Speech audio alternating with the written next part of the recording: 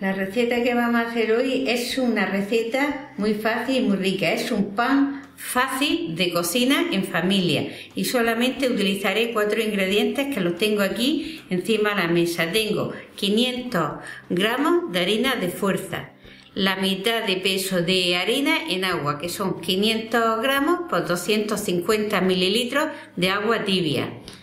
25 gramos, que es un paquete de levadura prensada fresca de panadero y una cucharada de sal. Con estos ingredientes prepararé un rico pan. Pongo el agua que se caliente un poco tibia y empiezo la preparación de esta receta. Empiezo por poner la harina en el bol. Os enseño la clase de harina de fuerza que se utiliza para hacer pan y ciertas reposterías que necesitan un arranque más fuerte, entonces con esta harina va muy bien.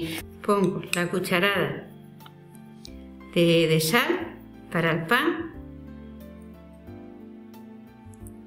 lo mezclo y aquí rompo la levadura un poco para desmenuzarla y así se disuelve antes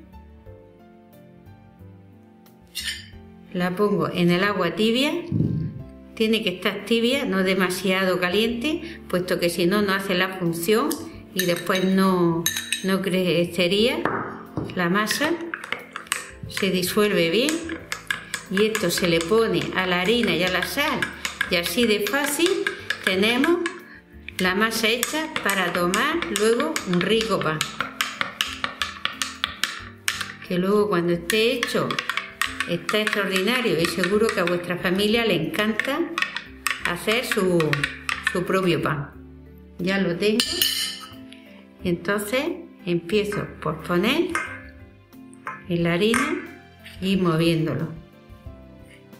Después utilizaré la mano.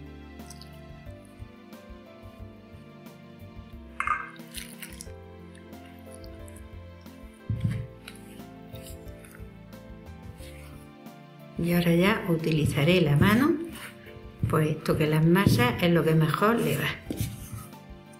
Limpio así. Y empiezo a amasar.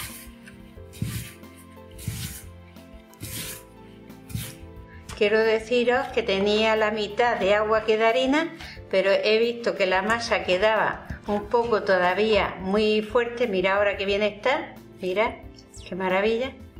Y entonces he cogido y le he puesto 50 mililitros más de, agua, un poco de agua más tibia a la harina. En total lleva 300 mililitros de agua con los 500 de harina. Pues en este paso lo saco del bol, pongo un poco de harina sobre la mesa y empiezo ya a amasarla solamente le voy a dar un reposo.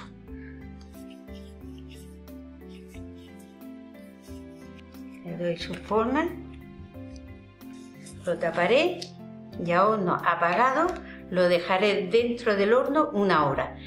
He tenido el pan una hora dentro del horno a horno apagado y mira qué cosa más preciosa, ha ensanchado y ha, y ha crecido.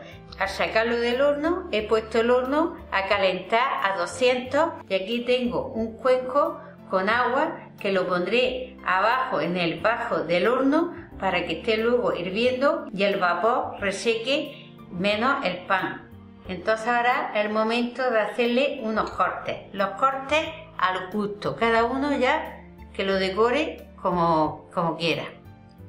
Yo le pondré así unos cortes, así solayados he dejado el centro y le he hecho unos cortes así por los lados. Mirad qué original y qué bien queda. Pues ahora falta cuando el horno esté bien caliente, cogerlo, meterlo dentro del horno y ya lo pondré a 200 pero sin turbo.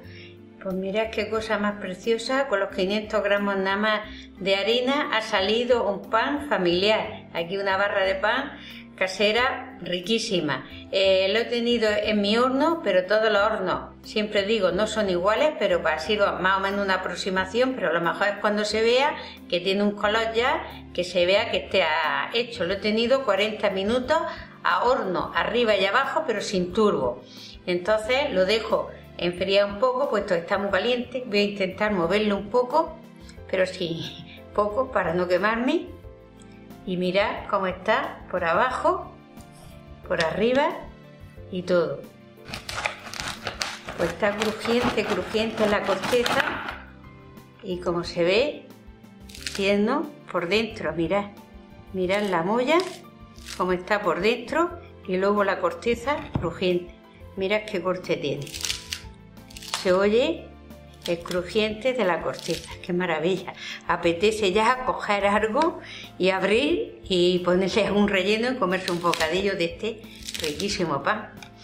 Pues nada, ya tengo finalizado este rico pan fácil de cocina en familia. Mirad qué panera más preciosa para poner en la mesa y disfrutar de este rico pan casero. Os lo recomiendo y como siempre os doy las gracias por vuestros agradables comentarios.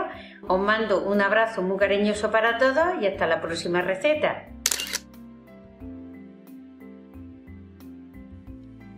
Suscríbete y no olvides pinchar en la campana para recibir las notificaciones.